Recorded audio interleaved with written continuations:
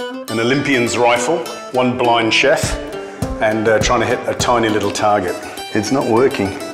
Hello? Uh, that's not the trigger. That's the ah. trigger.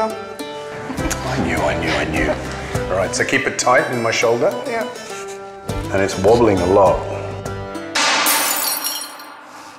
I didn't mean to do that. That's okay.